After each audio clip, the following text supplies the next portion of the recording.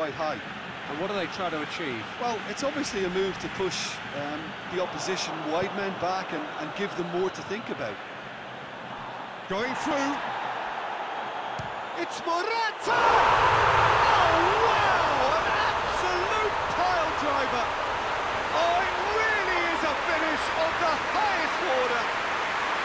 First blood drawn. Looking back at that, that's how you play on the counter. Quick and decisive and ruthless with the finish. I thought it was a stunning, stunning breakaway.